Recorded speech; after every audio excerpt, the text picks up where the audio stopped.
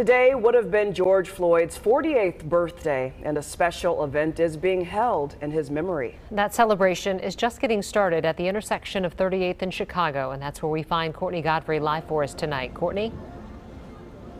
Yeah, BC, as you mentioned, this would have been George Floyd's 48th birthday. A year and a half ago, he died here on Chicago Avenue during a police encounter. Today, you can see Chicago and 38th has turned into a memorial for George Floyd. Lots of local artists have come together, and lots of community have come together to maintain this space. Uh, today, the family member was family members were here. His two of his aunts and his cousin now returning to this spot to celebrate the global impact that he's left. Spearheading this celebration is the George Floyd Global Memorial Nonprofit Foundation, led by Floyd's aunt and cousin. The purpose of the foundation is to preserve everything that you see out here the art, the statues, made and maintained by this very community. The family says being out here today means everything to them. They say Floyd loved bringing people together, loved a celebration, and so that's what they want to do today. They love also that people have been coming here from around the world. Uh, the a cousin told a story about someone who came from Antarctica and told them that they were protesting in Antarctica. So they love the fact that people from all seven continents have visited this site and, and that this has really became become a place for change, a, a symbol of, of what can be uh, in our world and in our community. And of course, uh, as you guys mentioned, this is a celebration that's going to continue into the night. We've got live music, we've got performances, uh, and uh, from from what I gather from everybody out here, uh, there's live music happening behind me now. This is just going to be a fun celebration, a party, all in honor of a man that they said loved to have a good time. Guys. All right, Courtney, thank you. More than $40 million of funding is on the way from the state to help spark growth in commercial corridors across the state. The Department of Employment and Economic Development announcing the first recipients of the Main Street Economic Revitalization Program. Money will go to nonprofit partner organizations used to create jobs and help spark investment back into Main Street businesses impacted by the pandemic, civil unrest, and other challenges. We really did focus on corridors, on clusters, on groupings of businesses, on areas where if you can help more than one business in a sector, that it kind of force multiplies, and you see a lot better effect in that neighborhood given the number of businesses you're helping all at one time. The pandemic delivered a blow unlike anything uh, that we've seen since the farm crisis of the 1980s. And so, supports like the small business relief programs through DEED early on allowed many to keep their doors open and now these communities are really looking to the future and imagining um, something better for their main streets. Foundations in Minneapolis and St. Paul are getting about 70% of the first round of funding through the program. Another $40 million in grant money will be made available next spring. New court documents detail the defense strategy for Kim Potter's upcoming trial. They show defense attorneys are expected to argue that when former officer Kim Potter shot and killed Daunte Wright, it was an accident. Potter is charged with first and second degree manslaughter. Lawyers are expected to argue that she mistook her firearm for her taser during a traffic stop last April. Prosecutors argue that Potter's actions created a greater than normal danger to others. Her trial is scheduled to begin November the 30th. A Minneapolis man is now charged for a deadly hit and run in North Minneapolis, killing a woman on a mobility scooter. 21 year old Cameron Benson is charged with one count of criminal vehicular homicide for running a red light and then hitting a woman as she moved through that crosswalk Monday afternoon on West Broadway Avenue and Aldrich Avenue North. Benson was found and arrested the next morning after his vehicle was found crashed in a median on Highway 100 in Brooklyn Park with the interior set on fire. You probably noticed it right away when you walked outside today. There is a chill in the air. Yeah, a little bit of a breeze, very fall-like. Uh, Chief Meteorologist Ian Leonard joining us, and uh, it sounds like it'll be a theme for the next few days. I uh, actually, I walked outside before I checked the temperature this morning, and I was like, oh boy, here we go. Which would kind of point to the fact you weren't paying attention to the forecast last night. I was. I'm just saying. it- I'm just it- out of love. I'm just saying that. It's just one of those things when it's, it- you know, you can say that, Mm-hmm. but it's not until you actually walk outside and you deal with the reality of 46 degrees. Uh-huh. I'm not buying anything you're in. saying. Not buying it.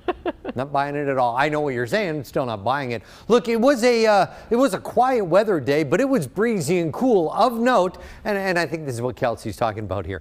Of note, this is the first time we've ever been sub 60 degrees this late in October since the late 1800s.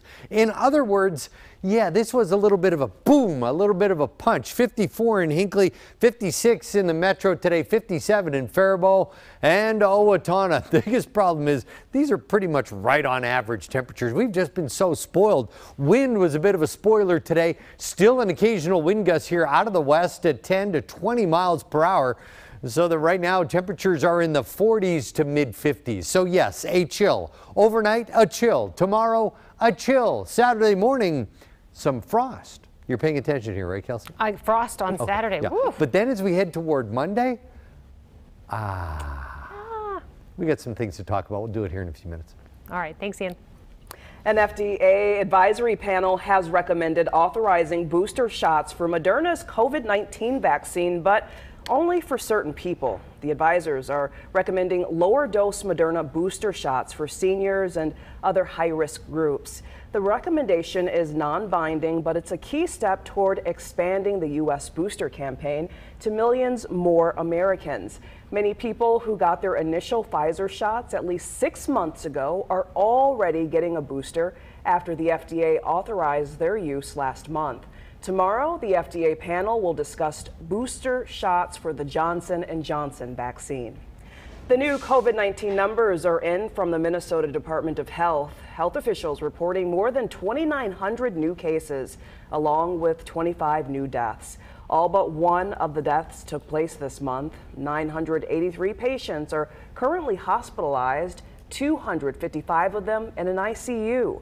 More than 3.4 million people have gotten at least one dose of a COVID vaccine in the state. Well, fresh off taking part in a hearing with the woman who blew the whistle on Facebook and Instagram, U.S. Senator Amy Klobuchar now wants to hear from parents. The senator hosted a virtual roundtable with Minnesota parents to discuss the harms the social media apps pose to kids and teens. Parents shared their concerns about the platform's content and privacy policies and how they allegedly profit off of your data. Senator Klobuchar says Facebook needs to be more transparent. The second piece of it um, is looking at these algorithms and making them more transparent and figuring out um, what we can do about that. Because right now, the tech companies, no matter how bad the content is, um, they can just do whatever they want, honestly. Well, last week, Frances Haugen testified to the Senate Commerce Committee where she shared new information about how Facebook dangerously promotes content to children. Haugen is set to meet with Facebook's oversight board in the coming weeks. At the Port of Los Angeles, officials say progress is being made toward becoming a 24 7 operation. This comes after President Biden announced the White House helped broker a deal to ease supply chain bottlenecks and get dozens of stalled ships docked and unloaded. Some critics say the president's efforts are too little, too late. There's only 72 days left to Christmas. And whether the ports are open 24 hours a day or 48 hours a day, you cannot get labor. If you cannot get labor, you cannot get trucks, you cannot get those merchandise out. New numbers today show unemployment filings are down. There were 239,000 jobless claims in the past week. That's down 36,000 from the week before. Economists say that's the lowest level since the pandemic began. It's a sign the job market has improved even as hiring has slowed in the past two months. One wolf pack in Minnesota is stronger than ever. The Voyageurs Wolf Project says all five of the pups in its Paradise pack are alive and well. That is a big change from last year when all four pups died by July. Now, this video caught in September shows the pack, including mom, dad, and all five of those pups. The Voyageurs Wolf Project says that they originally thought three of the pups had died in this pack, but this video now proving them wrong, and that's really good news for them. And some more good news to share. The Minneapolis Animal Care and Control says all of their dogs and cats have gone home to new owners. The city held its annual Clear the Shelter event Tuesday and Wednesday. All adoption fees for cats and dogs were waived. The city says 20 dogs and 17 cats were adopted over just the past two days. To keep the momentum going, the organization says it will continue to offer free adoptions for a while longer. And what great incentive. Great news. They've been Yeah. doing a great job this week of mm-hmm. finding those animals homes. Still ahead, how the Vikings are preparing for their matchup against the Carolina Panthers. And later, hundreds of more complaints have been filed against a Midwest photography company. The plan, the company officials say it has to help out newlyweds.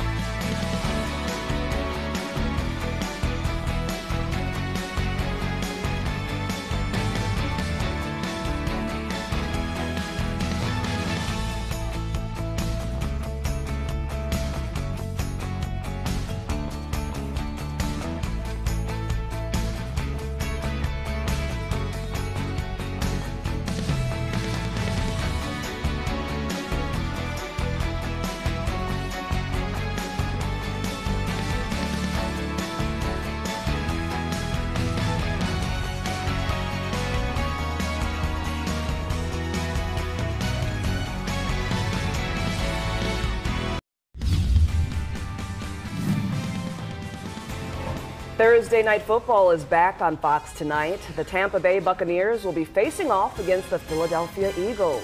This is a live look at Lincoln Financial Field where the match up is taking place. Kickoff is set for 7:20 and we'll have Vikings live coming up at 6. You can catch our news after the game tonight.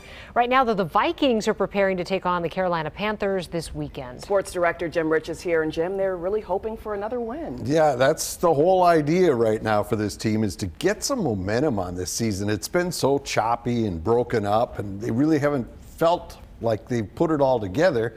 And this is one more chance because the Vikings want to win for a couple of reasons. Obviously, a win is always a good thing. And a victory here on Sunday will get them back to 500. And two, it's always great to go into a bye with a victory. But in order to do that, the Vikings have to go and win on the road, something that they haven't been able to do so far in this young season. Today at practice, it was more about who was missing than who was out there. Once again, both wideouts, Adam Thielen and Justin Jefferson, were out with various ailments, but Jefferson told reporters he should be able to go against the Panthers. Meanwhile, Dalvin Cook was a full participant for the first time since week two of the season. That certainly is good news as he continues to try to come back from that ankle injury. Patrick Peterson, the veteran quarterback, knows from history that a win before a break can be a huge momentum swing. Going into the bye week, it's nothing like it. You know what I mean? So, um, you know, um, we definitely plan on getting this win. You know, we're going to do everything in our in our power to go out there and execute the game plan to tally up enough points and, and you know gather up enough stops on defense to get the dub. But you know, this will be huge. You know, to get get right back at 500 before um, we go into the bye week. And the Vikings also get Cam Dantzler back. He was on the COVID 19 list, but coaches are saying it may take him a little while to get him back up to speed. Vikings are currently listed as two point favorites on the road against Carolina, so that's a good sign for them as well. So it should be a, a good game, but it feels like the Vikings are kind of kicking themselves for the way that Lions game went off the rails at the end, but they were able to figure it out. And I think they've kind of realized that, you know, we, we can get this done if we just pay attention to detail. Yeah, and stay healthy. That's true too. Thanks, Jim. Well, you can watch all of the action this weekend, of course, right here on Fox 9, the official home of the Vikings. Our pregame coverage starts at 10 o'clock Sunday morning, leading up to kickoff in North Carolina at noon. Then catch Vikings postgame tonight. It airs Sunday night at 10:30. And with that chill in the air, it certainly feels Yeah. like football. Yeah, weather. this is like the proper tailgating Yes. weather, I feel like. Except with the wind, you're going to hold down all the paper plates and all of that stuff.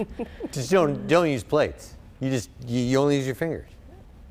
well, Like if the chicken fingers are there, you just grab a chicken wing or chicken.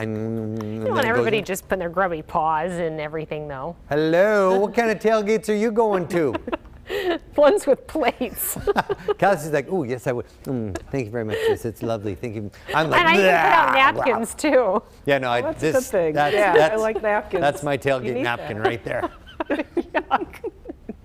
you think I'm kidding, right? I'm not. Here's Storm Vision over the last six hours. It was a very quiet day. Started with clouds, the breeze, and the cold, just like yesterday. And yes, I used the C O L D word this time because there was a definitive chill in the air this morning. A live look at Storm Vision will give you an idea. It's a very quiet night. And I'll tell you, this forecast moving forward in terms of active weather is very quiet. But in terms of temperatures, it is quite a roller coaster that started today and doesn't really end until midweek next week. These are your high temperatures today. Yes, your high temperatures. 49 in Hibbing and Alexandria, 51 in St. Cloud and Brainerd, 55 in Hutchinson, and 56 in the metro. Yes. Those are your high temperatures. Story this morning into this afternoon, a wind, sustained winds here at 10 to 20 miles per hour out of the west, still an occasional gust at 20 plus miles per hour out of the west. So you didn't have to just deal with the temperature, but you had to steel yourself against the wind and look to the north. Some chilly temperatures already on the map, and we're just past 5 p.m. 46 in Alexandria, 45 in Bemidji, 45, 49 in St. Cloud. And you're saying to yourself, wait a minute, if we're already in the 40s and it's just after 5 p.m., where are we going overnight? It's a great question. I'm glad you asked it, BC. I did? Oh, yes, you did. I, I volunteered was- you. yeah, thank this is like class. I just volunteered the people who aren't saying very much. Um, you know, it has been a very, very mild fall so far, especially October. Uh, case in point, this is our latest fall sub 60 degree day since 1872. Welcome to the fall chill. And when you look at your almanac, we hit a high of 56 today. Average is 59, below average today. That trend continues for the next couple of days as sunset now falls on the wrong side of 630. Some fair weather cumulus clouds out there right now, 56 degrees, a dew point at 38. This isn't going to be the case because of the cloud cover, but on a clear night, the temperature can fall as far as the dew point. And you're saying to yourself, well, wait a minute. There's a fall chill the next few days, even a chance of frost Saturday morning, and then we'll warm up nicely into early next week. If there is a constant here, it is a very quiet stretch of weather. We clear overnight and we're cool. We wake up in the low to mid 40s. Tomorrow afternoon, a high of 53 with a strong wind out of the north northwest. And then tomorrow night, if you're heading out to any high school football games, you better bundle up. It is going to be a mite bit chilly. Saturday morning, some patchy frost across the region. Saturday afternoon, sunny. We slowly turn the winds out of the south. That makes for a nice day. South winds and plenty of sunshine Sunday and Monday make for a gorgeous day. And yes, finally, BC is smiling as I walk across the studio and Kelsey is handing me a napkin for the tailgate Yes. this weekend. I'll be fine however it goes. Yeah, and we have a list of questions. Yeah, well, that- Yes, please. you, you read my mind. Mm-hmm. Like, how, how did you do that? It's uh, it's a gift. I'm not going to lie to you. It comes with the uh, boyish good looks and wit and charm. It- It's like a package. and the science degree. That yeah. that's in there to somewhere learn too. in school. Yeah. All right. Thank you, Ian. Straight ahead, the TSA is reminding passengers to please check their guns after recovering a record number of weapons. And why you may be dealing with longer security lines at the airport come Thanksgiving. We'll have that in just a minute.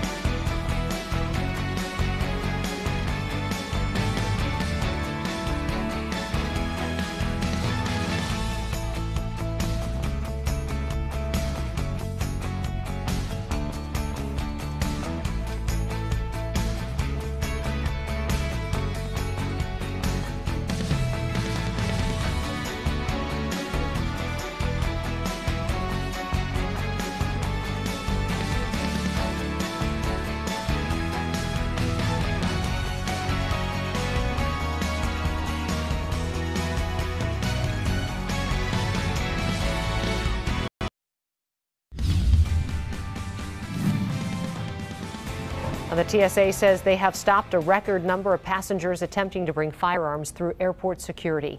TSA saying they stopped more than 4,400 passengers trying to bring guns on planes within the first nine months of 2021.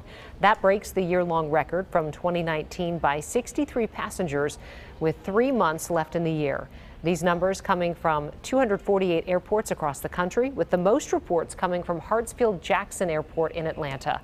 Followed by the Dallas, Fort Worth, and George Bush Houston airports in Texas. Federal government workers must be fully vaccinated by November 22nd.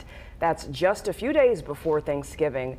So you may have to get ready for long lines at the airport. The TSA says four in 10 members of its workforce, including screeners, remain unvaccinated. The deadline to get the first dose of the Moderna vaccine has already passed. The last possible date for receiving the first dose of the Pfizer vaccine is October 18th, next Monday.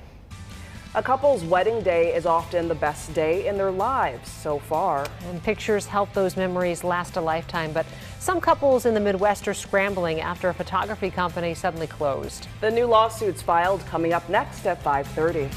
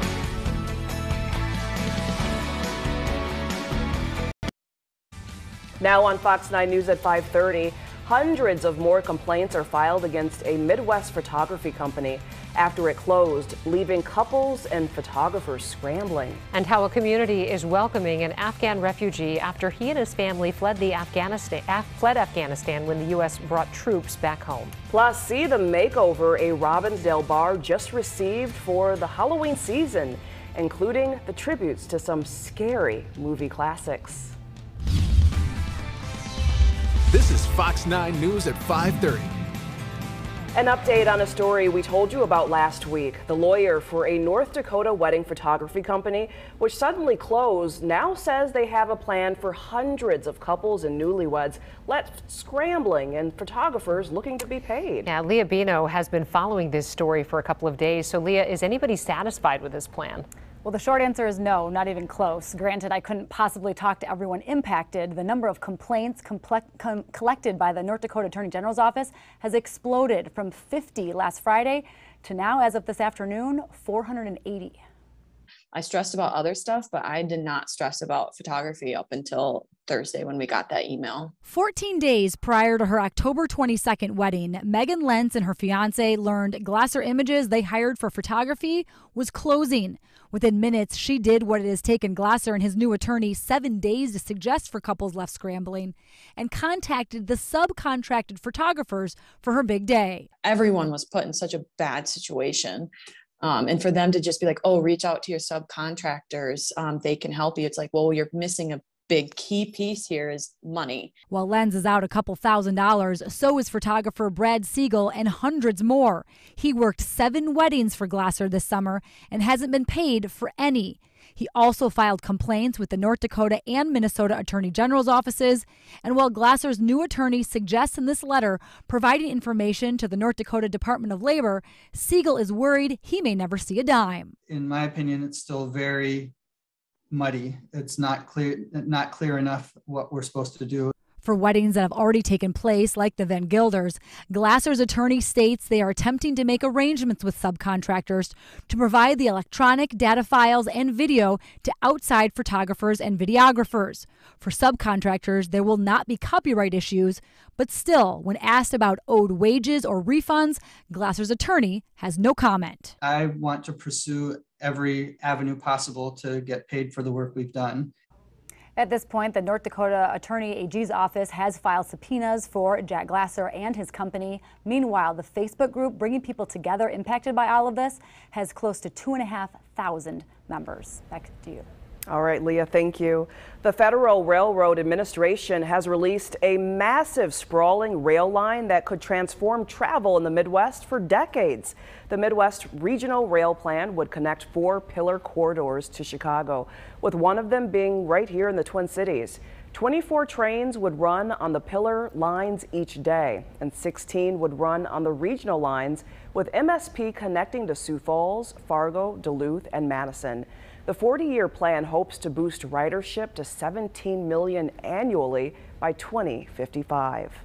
The Minneapolis Police Department is investigating after a seven-year-old child is struck in a hit-and-run crash. This happened at the intersection of 34th and Penn Avenue North, which is located where two schools are located.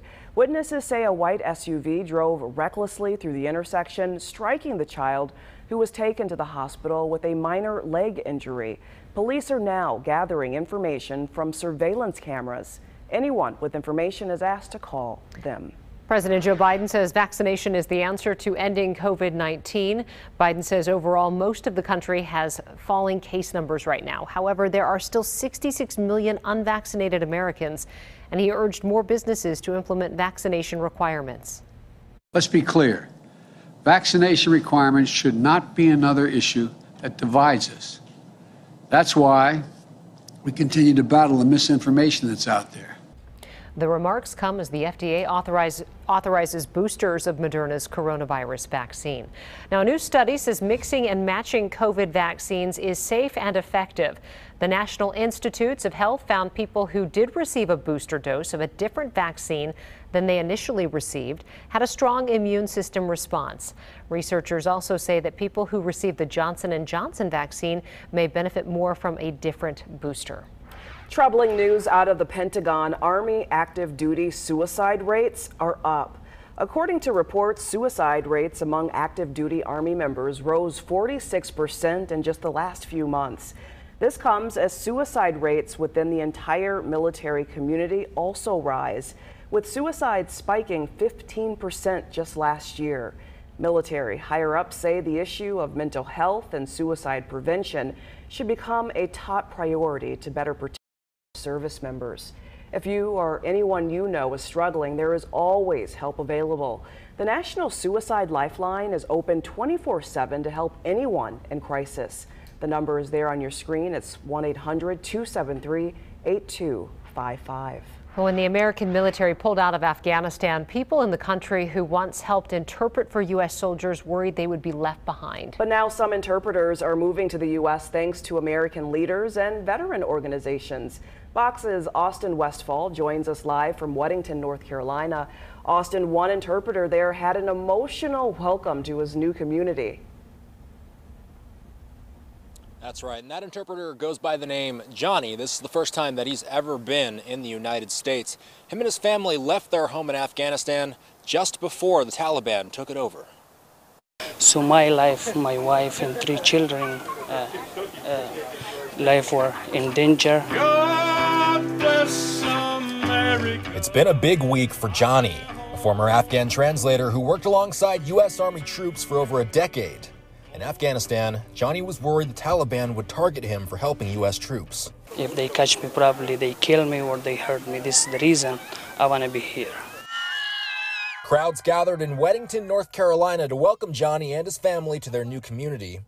Family boarded the last military flight out of Afghanistan in August with help from a group of veterans and Senator Thom Tillis of North Carolina. We did all of that work so that we could make it very clear to the State Department that we had somebody who deserved to get out of the country. As Johnny arrived in North Carolina on Wednesday, he reunited with Sergeant Mike Verardo, who was catastrophically injured in 2010 by an IED in Afghanistan. Johnny was Verardo's translator then, and now they'll be living down the street from each other. Verardo's wife, Sarah, spoke on his behalf. That was really special. Mike, you're so happy to meet, see Johnny here.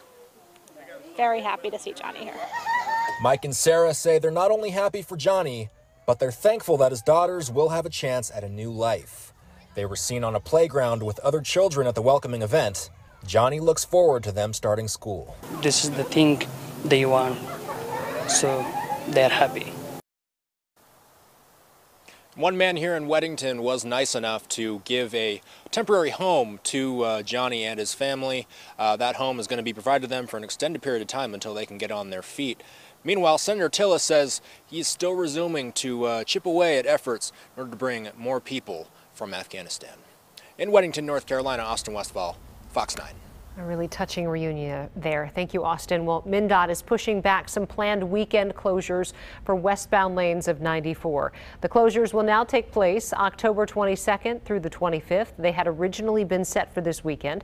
Westbound lanes between Wabasha and Marion Streets will close for pavement repair. The work will start at 10 p.m. that Friday and will open back up by 5 a.m. the following Monday. The work is part of a larger project to repair roads and upgrade walking and bicycling accessibility. Something wicked has taken over the Travail Basement Bar in Robbinsdale. They've partnered with the crew behind the Haunted Basement to create a Halloween themed dining experience inspired by classic horror films. There is a 10 course Halloween themed tasting menu and you can pair your dinner with some spooky drinks. We have been doing cocktail flights in the same way that you would do a tasting menu. So we're curating not only the drinks and the experience, but just kind of really honing in on everything so that you have an entire inclusive and immersive uh, dining and cocktail experience.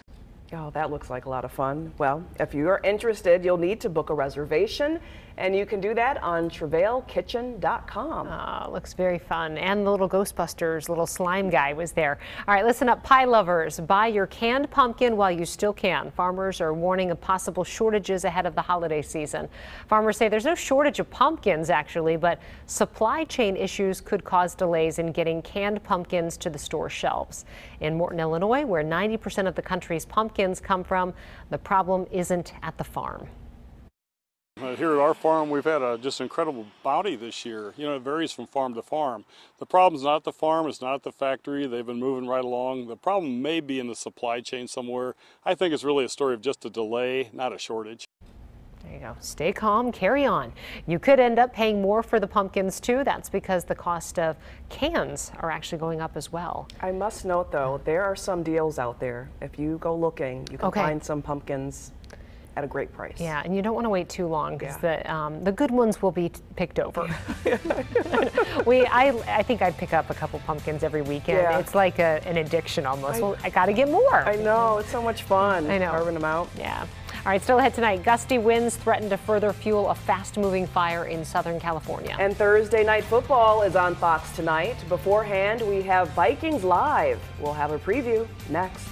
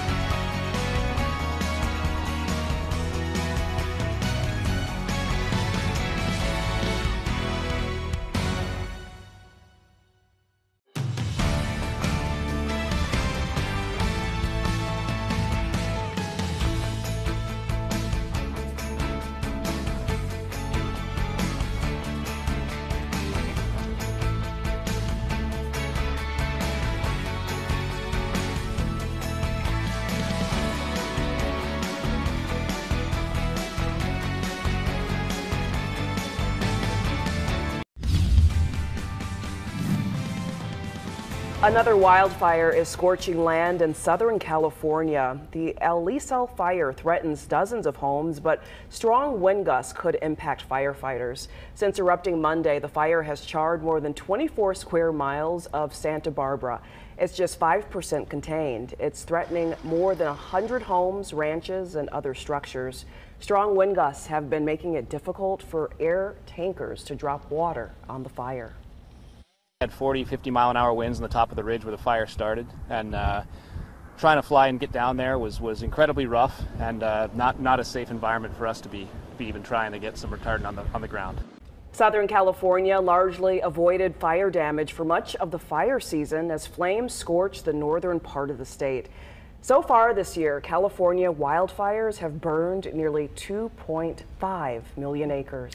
Minneapolis has joined a growing list of cities that are lifting water sprinkling restrictions as drought conditions continue to improve. The city has lifted the even odd water restrictions that have been in place since July. Minnesota DNR says that while the Mississippi River remains lower than normal, flows have been steadily recovering since mid September. The city is still encouraging residents to conserve water when they can. So that's a little bit of good news after Yeah, such a rough summer with the drought conditions and all the dry lawns and Very um, dry summer. and very difficult season for farmers. Yeah. So maybe we can head into the next season in a little bit better shape. Absolutely. And you know what? I've been really hesitant to pull out that fall coat, hopefully. I mean, I imagine I'm not the only one. Have you pulled your coat out I walked out with shorts on. I am not the right person to ask at all. Oh I don't know where any of my jeans are, oh. and I hate all of them anyway. So I, I have not transitioned oh, just yet. Yeah, okay, I'm glad I'm not the only one. there you go. Uh, See, this is how you yeah. dress properly. This the is the coat that I wore today. You know why? Do you want to know why? Because you're smart. Because I listened to my forecast I last listen. night. I just, I just, uh, you know, I have not transitioned all the clothes yet. If you don't transition, I gotta make sure that if you don't transition, then you can't complain. I'm not complaining. I promise. Um, by the way, you should do like a dress code. We need to have like a. Um, a I'm doing a fashion show. Yeah, and every day on our website we put a picture up of Ian. what was that movie? I like That was um, uh, with Ben Stiller. that's Blue Steel. Um, um, Zoolander? Zoolander. Zoolander. Yes. you are Zoolander. right now. I'm keeping the coat on for the rest of the forecast just to make sure that people know it is going to be um, cooler than average here as we work through the next few days. Look, pick up the spin here in parts of Saskatchewan and Manitoba, Canada. The flow here out of the northwest, and you've got a flow here out of the southwest. For the next couple of days, northwest flow winds. We will be cooler than average. Then into the day, late Saturday, but Sunday, the southwest flow takes over and will go warmer than average. The one constant is that it will be a very quiet forecast through the chill and the warm up all the way into next week. There's a live look at storm vision. We started with clouds today, but no real active weather in those clouds. But how about these temperatures, especially first thing this morning? Upper 40s for a high temperature in Hibbing, 51 in St. Cloud, 55 in Hutchinson. And as you get into the warm air, 61 in Red Wing. Winds were a big factor today. If you were outside without your jacket, Kelsey Carlson, then you absolutely felt the winds. Sustained winds 5 to 15 miles per hour out of the west. Occasional wind gusts 20 plus miles per hour still out of the west and will stay breezy tonight.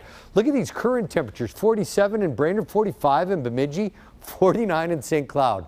I think you get the idea. Jackets, absolutely. And it's been a very, very mild, if not warm, fall and October so far. This is our latest first sub 60 degree day since 1872. wow.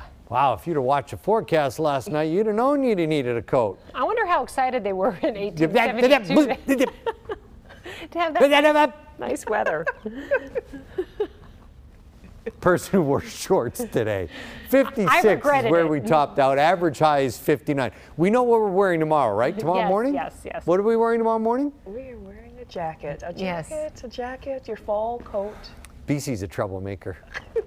That's all I'm going to say. It is a very quiet stretch of weather as we get through a chill the next couple of days and then much warmer Sunday, Monday, and Tuesday.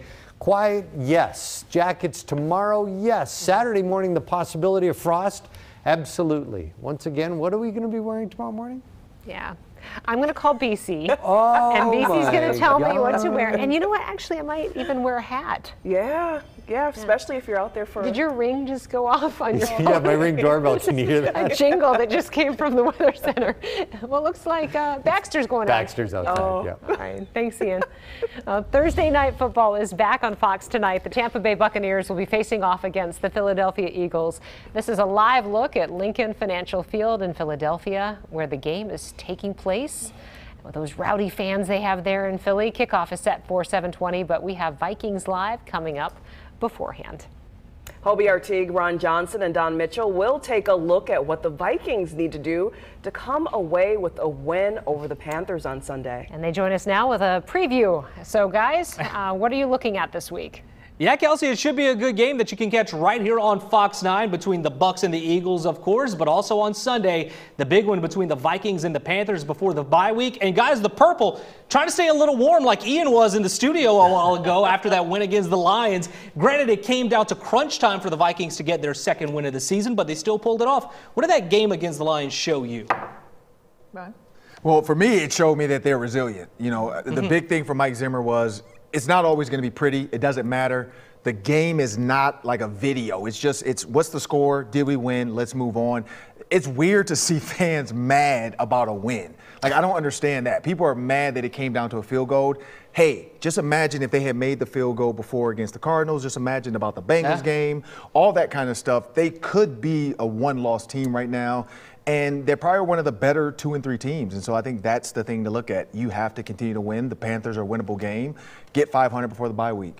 You know, on the flip side of that, they also learned that they're lucky because they still had a lot of mistakes. Mm-hmm. And I don't, you know, lucky it comes down to a good field goal, but they also learned, listen, we got to get that that offense going in the second half. We, have got to get those touchdowns. We've got to take advantage of takeaways that the defense give us. So there are a lot of plays left out on the table that I think they're saying, okay, we came away with the win. Now let's examine what can we do better. And I think they're gelling too. I think especially on defense, and we'll mm-hmm. talk about that later on tonight, that they're starting to get together. But they have the luxury of a, a W, but seeing mm-hmm. what they really still need to improve on. And you mentioned that offense, only two touchdowns in the last two games. That's going to have to change in Carolina if they want to get that win before the bye. But uh, some good news Dalvin Cook today, a full participant in practice. Christian McCaffrey, though, did not practice. The Panthers have said that he's a 50 50 shot to play. And Dawn, this game really could be coming down to this Sunday on which running back really steps up for his offense. You know, I think the good thing is Dalvin looked awesome at practice. This is the best I think I have seen him. So I hope Dalvin Cook comes out and he's fresh and he's ready to go. And the defense, you have to be ready for Christian McCaffrey, whether mm-hmm. or not he plays, right? Because even Eric Kendricks said today he runs a little bit different than most backs. So you have to be prepared for what he brings. Yeah, I mean, with Dalvin Cook, again, he's a full participant, but an ankle, any twist, any turn, any weird step. I mean, we saw Chris McCaffrey's hamstring. He was yeah. fine, and all of a sudden, a weird step. He tries to do some kind of, you know, hezzy, and it just didn't go for him. Mm-hmm. And so with Dalvin Cook, getting him healthy. I think the other key is getting Justin Jefferson and Adam Thielen healthy. Yeah. Like if, if Dalvin is healthy and those two are not, you're gonna have to run the ball. I mean, you have to look like what the Gophers wanted to look like, which is running the ball 40 times in a game and just slowing it down, not forcing Kirk to have to make too many plays. But again, it's the Carolina Panthers. Mm-hmm. We know Sam Darnold. If you get to him, which Everson Griffen and Danielle Hunter have been doing a great job of, the best duo right now in football. Mm-hmm they can make him see ghosts, and he's going to throw interceptions. We'll see later in some of the plays. And Justin Jefferson did not practice again today, to your point, but also Mike Zimmer joins us live with Paul Allen, catching up for a one on one in our spotlight this week. Much more to come beginning at 6 o'clock for Vikings Live. Kelsey BC, back to you in studio. All right, Hobie, thank you. And you can watch all of the action this weekend right here on Fox 9, the official home of the Vikings. Our pre-game coverage starts at 10 o'clock Sunday morning, leading up to kickoff in North Carolina at noon. Then catch Vikings post-game tonight. It airs Sunday night at 10:30, right after the news. Well, want to go to space but really can't afford a ticket on board a rocket these days? Coming up, a look at the new software letting people travel light years beyond our own galaxy.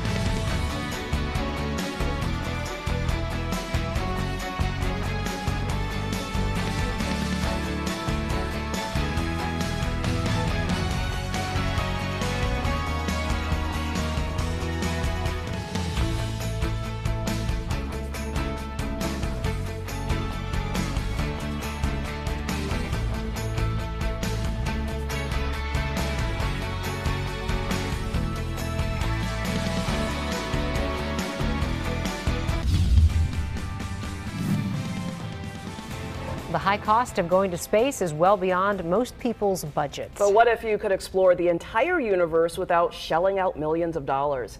Scientists in Switzerland have created a new software called the Virtual Reality Universe Project. The program processes information collected from multiple databases, letting you experience not just the moon and Mars, but also 50 million galaxies and 4,500 planets outside of our solar system. I think that's a great idea. Just, I like to have my, my feet planted to the mm-hmm. ground. Right. So, An, an easier way to do right. it. Yeah. yeah. Well, that'll do it for us here at 5:30. Yeah, but don't go anywhere because Vikings Live is straight ahead with Dawn and Ron and Hobie, and they'll be talking to Coach Zimmer. So it's going to be a great show coming up next.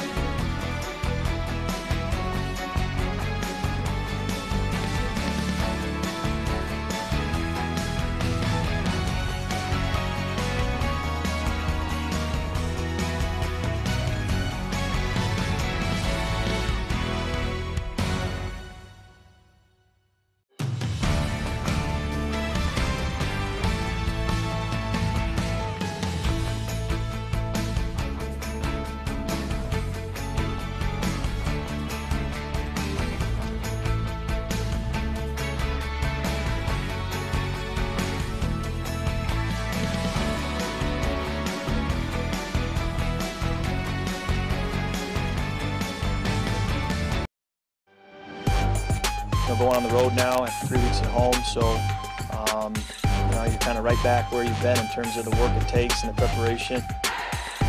Put away what you did last week and you start fresh and get ready for another week and a, and a great test for us. Going into the bye week with a win, just that confidence, just getting getting it going for the second part of our, our, our schedule. And you know, we're trying to even the score up.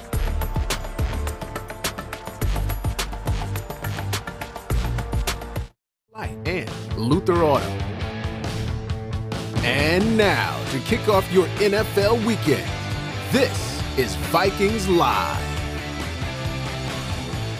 Looking good, PA. Looking good. What do you mean?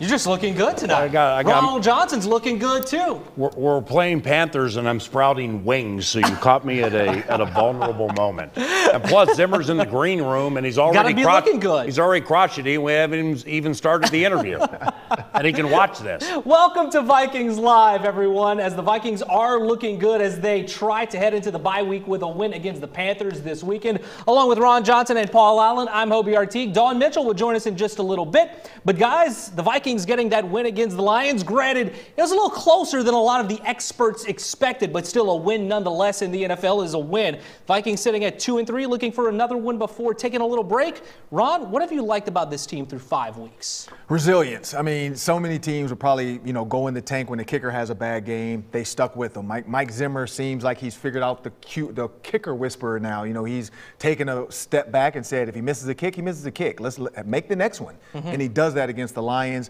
I think Kirk Cousins showing that he can. I mean, if he had made some of these other kicks and some of the stuff didn't happen, he would have three game-winning drives already this season. And so people have put a lot of emphasis on some of the bad. But you have to look at the good. They have won two games. They should have won more. But hey, it's a long season. They've only lost three. People uh, seem to forget that, you know, granted, this Lions team is winless, uh, but the Ravens are four and one, and the Ravens could go to the Super Bowl from the AFC, and it took a 66-yard field goal to beat them. So, you know, everybody, the intel into the game was the Lions play really hard. They're really tough. Campbell's message is working. They're just depri- deprived of talent. We saw that. Now, the way it ended, you, you don't want the fumble, but you do want the walk-off. Mhm. So it's it's from two and three. It's getting the defense and the offense to mesh. Obviously, is so key. But one or the other is getting the others back every single week. So if it comes together, man, I'm telling you, they could beat any team in the NFL. You mentioned the offense right now against Seattle. They looked pretty much unstoppable in that game. They had a touchdown on the first drive against the Browns, but since then, they've had only one touchdown in the last 112 minutes of game time. Oh. It seems like right out of the gate, this offense is clicking, and then they kind of hit a lull. Ron, what needs to change before heading into that bye, especially this weekend in Carolina? Well, I mean, honestly, I'm not going to be cliche, but it is kind of it's do what you do in the first drive because you script out those first 15 plays. Maybe, and Peyton Manning talked about this on the the ESPN telecast he did, and it was. I sat there and I would look at my first 30 plays. Why? Because the game is not 15 plays. And maybe that's what Kubiak might need to do is let's look at that next drive. We know our first drive is going to come out and punch them in the mouth because they don't know what to expect with our offense. Mhm. Let's come back in that next drive and hit them again. And then I think it, from there, then you go to your card and you call it how it is. Um, other than that, I think Kirk Cousins is doing a good job. It's just defenses, for some reason, they're figuring it out. And some of the throws that are there early are not there late in the second half. Dalvin was full in practice today, so that's really, really good news. Now, with Kirk Cousins off what Ron said, you know, Kirk Kirk's been been mostly fantastic this year. When things are in a frenzy, like the end of the Cincinnati game, the Arizona, end of the Detroit game, he's been unbelievable. Mm-hmm. So I don't exactly know what the connection is with what comes into the huddle. There is no huddle. What you know what he hears and and how he distributes it, but when things get get willy nilly and you just got to go fast, Kirk has been terrific. So I'm not saying you know like go up tempo, no huddle all the time, make the whole game a frenzy, but uh, that's kind of a hidden positive with him. And you mentioned Dalvin Cook being a full participant at practice today, and potentially this weekend we'll see two of the best in the game in the backfield. Hopefully, we'll see some healthy running backs this weekend because Dalvin Cook and Christian McCaffrey have been a handful whenever you look at some of their stats since 2018. Christian McCaffrey, look at, I mean, each hmm. guy averaging five plus yards a touch. Each guy has 35 plus touchdowns. But the games played, both guys have missed time over the last few years. It's no question that these are two of the top five running backs in the league, you could argue at this point in time. But PA, which running back do you feel is more valuable to their team heading into Sunday? McCaffrey's a 50 50 chance. Yeah, I, I- I think they're the best two running backs in the NFL because they're multifaceted. They, they catch, they run, they run between the tackles, they get outside, and they protect. So, I mean, that's with all due respect to Ezekiel Elliott and everybody else. But Mhm. when these guys are 100% and like full throttle, they're the best two running backs in the NFL.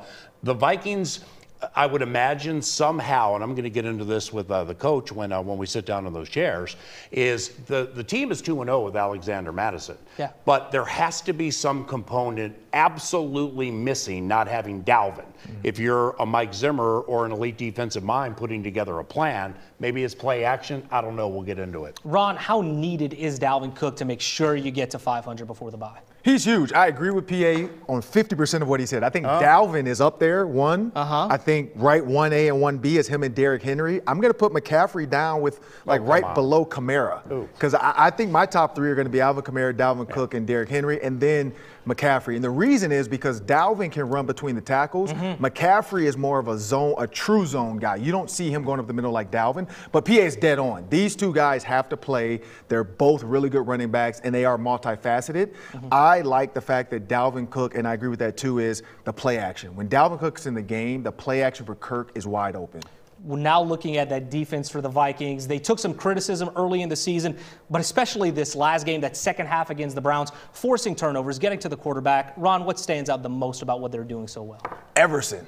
I mean, Everson stands out. I mean, it's almost like he's he's back in like 28-year-old Everson Griffen. Mm-hmm. Him and Danielle Hunter with 10, I think 10 sacks combined, are the number one duo for getting to the quarterback. I think he's been a huge help because we know what Danielle can do, and having Ev, because everybody's like, it's a DJ Wonnum, it's Everson, and Everson is playing his role well. He's listening, he's doing what he has to do, and then everybody else feeds off those two guys' energy, and that's what I like the most. That second half defense, fourth in the NFL, second last week with points allowed. They were first for a second before DeAndre Swift got in, then they got that two point conversion. Uh, the second half defense has become really, really stingy. And from a run defense standpoint, you know, I would imagine. Coach would want it better in totality because he's a perfectionist. But really, there have been some big spot runs, Hobie. Chris Carson, 39 yard touchdown. Kareem Hunt got that 33. DeAndre Swift with the unexpected run late. If they can lock up those big spot runs, then I think people would look at the defense a little differently. Especially, too, whenever Eric Kendricks is making one handed interceptions, might be lining up at tight end because there might be a position of need moving forward for the Vikings. But sticking with that defense, they're really shining right now is that group and that core. A lot of guys who have played a lot of football together. And for more on that side of the ball, we toss it now to Dawn Mitchell, who heard from some of the guys earlier today. Talking about that second half defense. Well, the defense wants to take that and unleash it in the first half, right? They also want to limit the runs, of course. They said they're not worried about their run defense, but they want to tighten that up and no splash, splash plays. But you get Everson Griffen back, Anthony Barr is back, and you're starting to see the identity of this defense come to mind, and also a little bit of fun again. Every season, it's a little bit different, obviously, but with two parts of the core back in Anthony Barr and Everson Griffen, the familiar ease is returning. For Eric Kendricks, having Barr back is like getting your right hand back.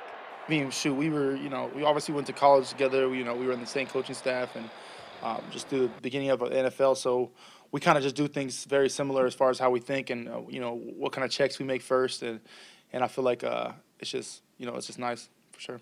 Getting Everson Griffen back on the roster and to form has been a nice bonus. In four games, he has four sacks and a forced fumble. Um, man, he's an animal. He's he's a sack daddy for a reason. You know, he finds a way to get to the quarterback. He's uh, very ferocious. You know, nonstop. Has that that motor um, that never dies. You know, Everson's going Everson, you know, um, sack daddy. So that's what's up.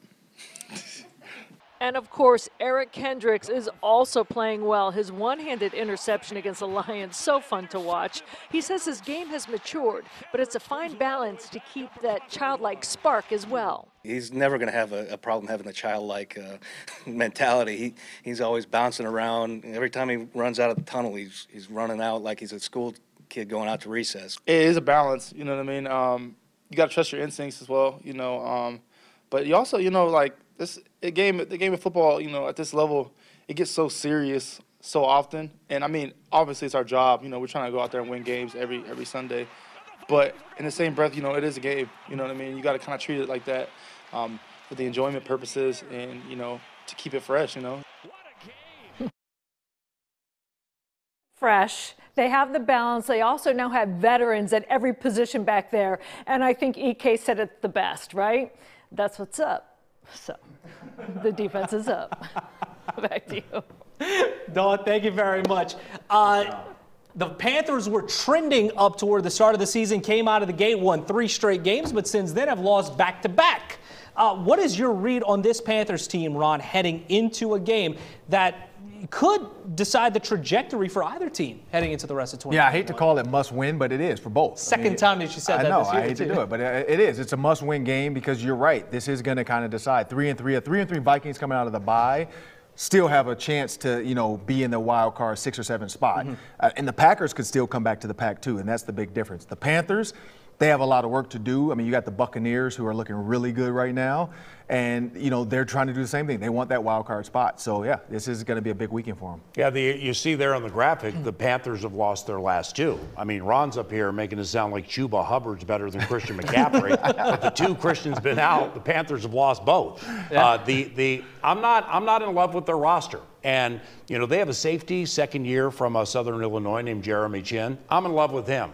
Burns and, um, and, and Reddick, they combined for 10 sacks. And they got a nice tackle in Derrick Brown.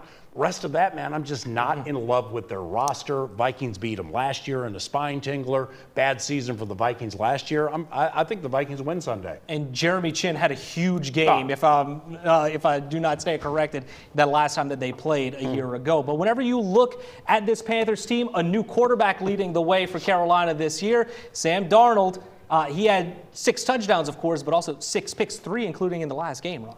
Yeah, I mean, it, the thing is, is I'm not going to do the whole he saw ghost, but you'll see in the plays when we go through them, he's in the end zone and he's moving faster than what the play is allowing, and he's looking the play, he's looking the receiver down too long. And when you look the receiver down, you're going to see in this play that the safety can easily break on it. And I think that's the problem is he his eyes are telling the safeties exactly where to go. So here's a good Sam Darnold, which he's going to throw on timing. He knows it's basically a, a concept high low. That, that linebacker, that safety jumps to low. He's going to throw the dig. He puts it in there early enough where the safety can't get a big hit on his receiver. But this next one is simple cover two. There's nobody threatening the flat because the linebacker has it. So that corner, instead of sitting in the flat, he's just going to fade back with that receiver. And the safety never is told to go anywhere else but to that because he's mm-hmm. like, you're staring this guy down. I'm just going to follow your eyes. And that's just bad Sam Darnold. He's in the end zone, and that's why he sped it up. And you mentioned how well Christian McCaffrey helps this offense, PA. But Chuba Hubbard, the rookie out of Oklahoma State, can really do some damage if he finds the opportunity. Well, well, Chuba, when he came out of Oklahoma State, was lauded for his vision. Now, in, in watching back some of his plays, he, you know, Coach Zimmer knows more about this than me, but – he doesn't seem like the biggest threat in the world getting outside. Mm-hmm. Just doesn't seem super fast. 3.9 per carry guy, still zero TDs. It's incredible. If we can show you some of those plays right now, here he's uh, looking to go outside, PA. Right, and you're, but uh, this is more about the Eagles, in my opinion. I mean, I'm not an elite film watching mine, but my man right there falls. Uh, Darius Slay with the worst corner attempt tackle in the history uh, of football, and, and then Hubbard is made to look faster than he is. Now, this is nice. I mean, he plants, and there he goes. 57 got blocked up nicely. And that right there is big time Chuba Hubbard. I just don't envision it being these long and these mm-hmm. loose type runs. Uh, but he was lauded for his vision coming out of Oklahoma State. Seems uh, seems to be a smart kid, uh, but uh, doesn't catch it much. Still zero TDs. How'd they do in the film breakdown? You think Pretty so? good. All right. If the wow. head coach yes. says it was good, that's good enough for me. Yes. As you can tell, still much more to come on Vikings Live. We're joined by the head coach of the Minnesota Vikings, Mike Zimmer, joining us live in studio to go one on one in our spotlight this week with Paul Allen. Stay tuned. Much more Vikings Live coming up after the break. Yeah.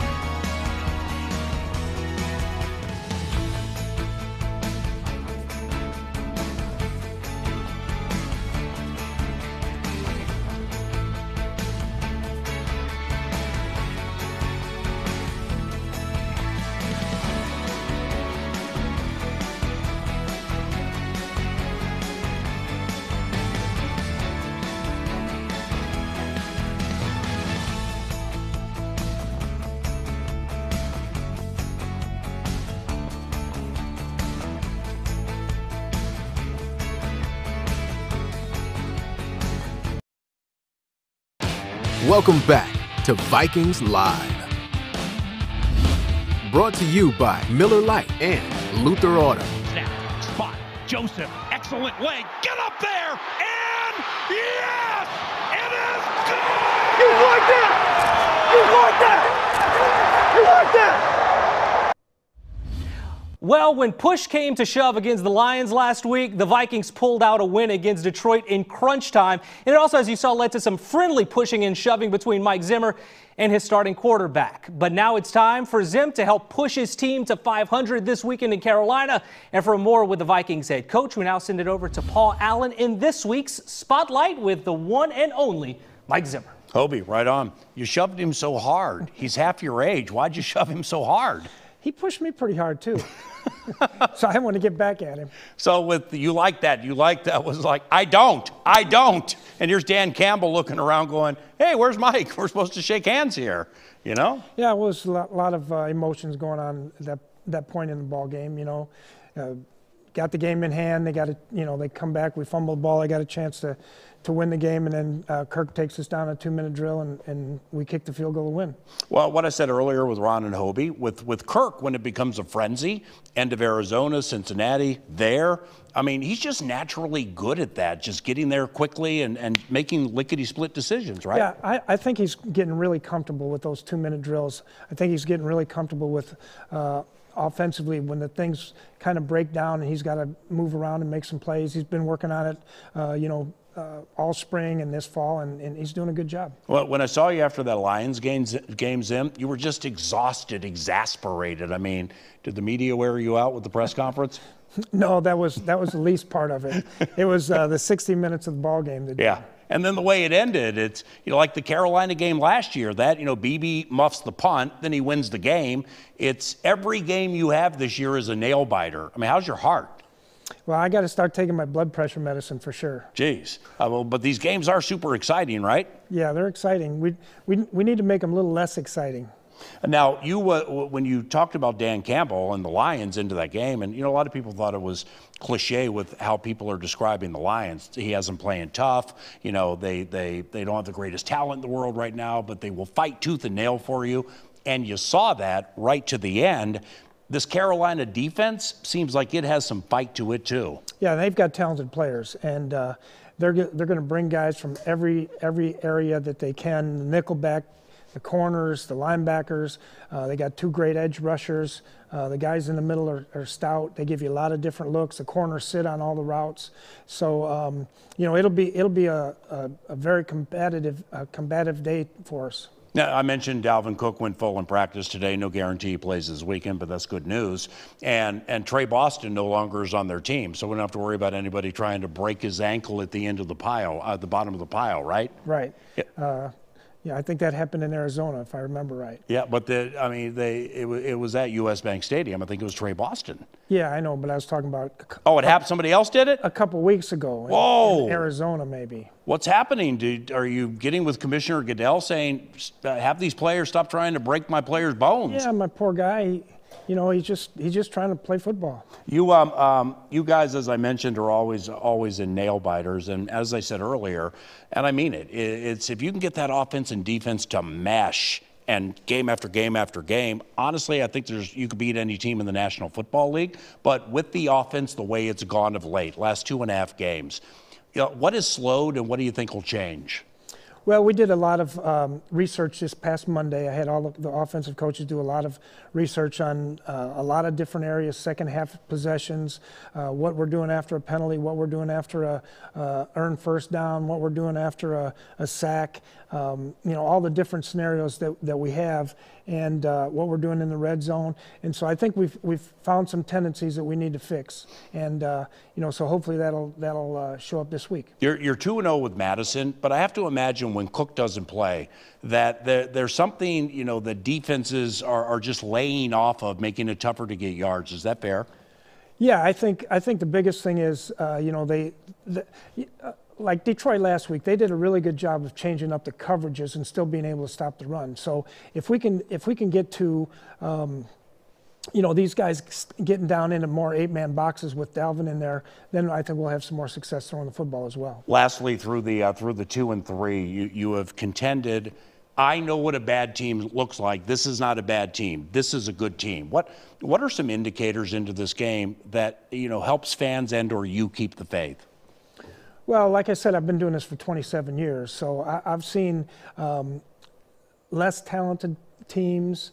I've seen more talented teams maybe, but the way these guys work together and the things that they can do as a collectively as a group, um, whether it's special teams or offense or defense, you know, when you look at Jefferson and Thielen and, and uh, Cook and Cousins, um, uh, Tyler uh, Conklin. You look at these guys. You look at Brian O'Neill. You look at some of the some of those things they do, and then you look at defensively, and you got Everson and Hunter and Barr and Kendricks and and uh, Hitman. Dalvin Tom, yeah, and Harry um, Peterson. Yeah. You know, it's a collectively good group, and uh, it's taken us a little bit while to gel. Um, you know, I'm not sure why, but once we do gel, we're going to be dangerous. Thanks for the chat. Good luck this weekend. All right, thanks, Paul. Hobie, Zim and Zim. Zim, always appreciate your time. Thank you. Still to come here on Vikings Live, we take a look at Thursday night football tonight. It's in Philly as the Bucks take on the Eagles. We chat about that when we return here on Vikings Live.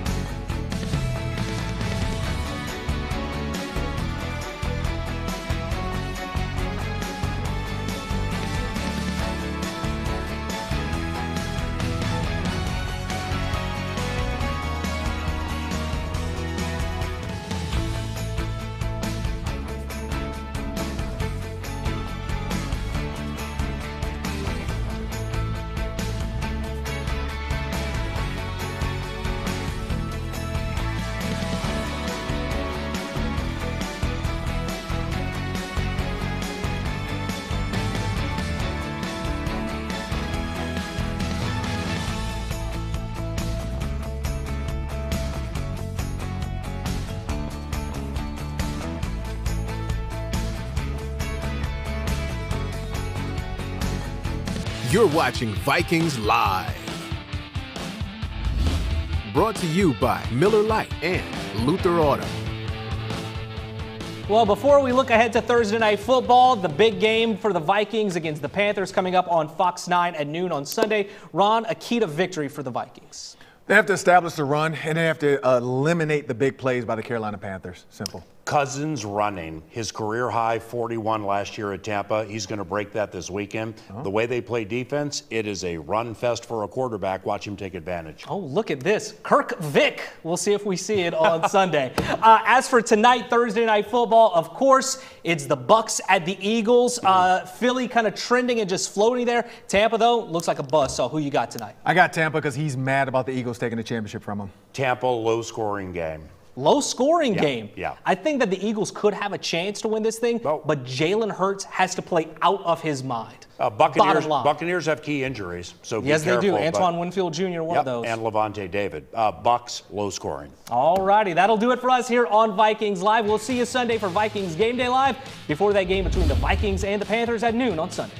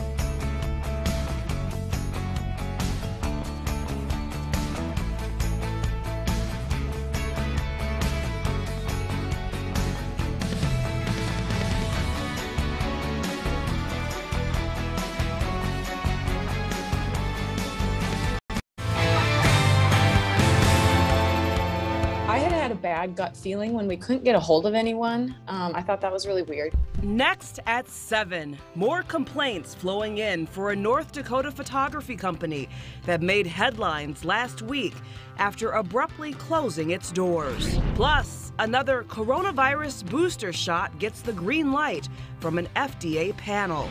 And a moment of remembrance and reflection at 38th in Chicago as community members mark what would have been George Floyd's 48th birthday. This is Fox 9 News at 7. Thanks for joining us at 7. The lawyer for a North Dakota wedding photography company, which suddenly closed, now says they have a plan for couples and newlyweds across several states left scrambling.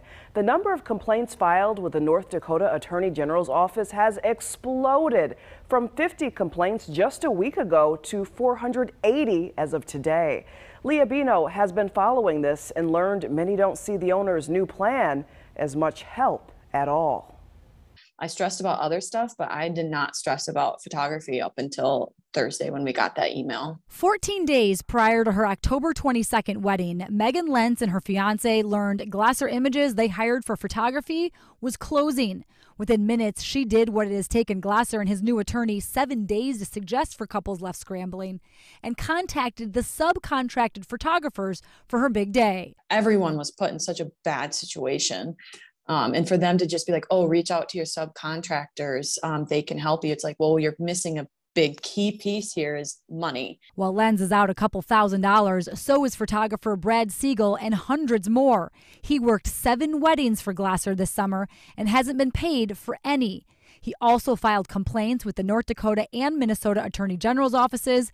And while Glasser's new attorney suggests in this letter providing information to the North Dakota Department of Labor, Siegel is worried he may never see a dime. In my opinion, it's still very muddy. It's not clear not clear enough what we're supposed to do.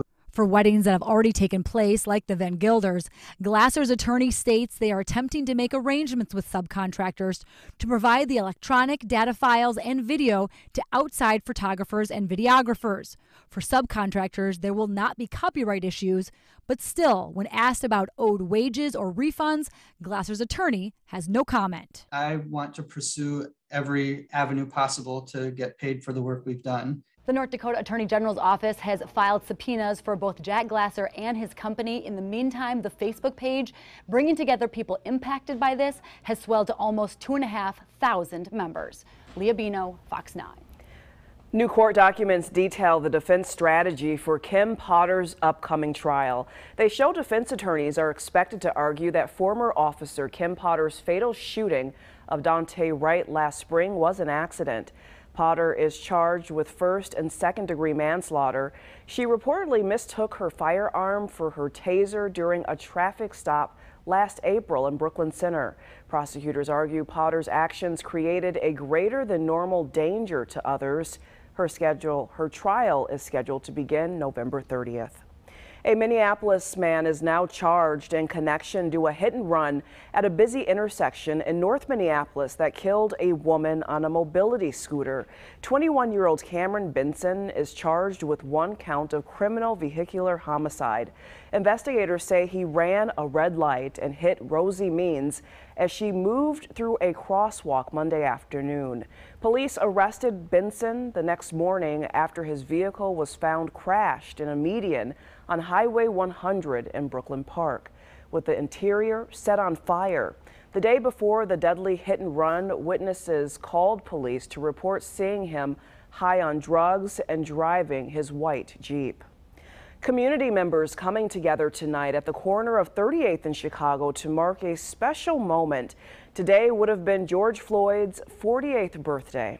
Courtney Godfrey shows us how people are marking the moment. Today would have been George Floyd's 48th birthday. He died almost a year and a half ago here on Chicago Avenue in a police incident. Today, Floyd's family came here to this intersection to celebrate the impact that he's left. Spearheading the celebrations is the George Floyd Global Memorial nonprofit foundation led by Floyd's aunt and cousin. The purpose of the foundation is to preserve everything you see out here the art, the statues made and maintained by this community. It's become a gathering place for people advocating for police reform and racial justice, and it's even become somewhat of a tourist attraction, attracting people from all over the world.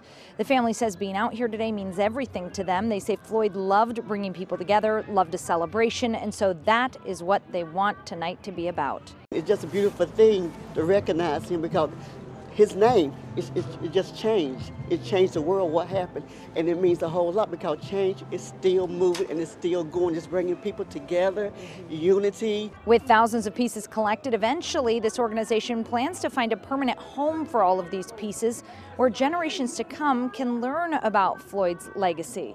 As for this celebration out here tonight, it plans to go through as for this celebration out here tonight, there will be live music, performances, free food, and you can see people are just coming and going. This celebration expected to go through the night. Reporting in Minneapolis, Courtney Godfrey, Fox 9.